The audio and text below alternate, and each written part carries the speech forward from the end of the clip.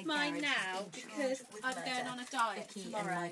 You say that every No, day. but I really am, so I'm getting rid if of you were on a them. diet, the fastest little chocolate from an advent calendar isn't going to make a blind bit of Well. I'm having mine today, and I want them all out, and I'm never, I don't ever want to see them again. Look at the technique. She's done this before. Oh, yeah, every year. I do it all the time. I've eaten George's Christmas tree chocolates as well. Oh, I just feels better for doing that now. I can get rid of these chocolates. Go on, chow down. Just put the whole thing in your mouth. Look, here's mine. Look, it's still neatly opening. Where's number eight? Here it is.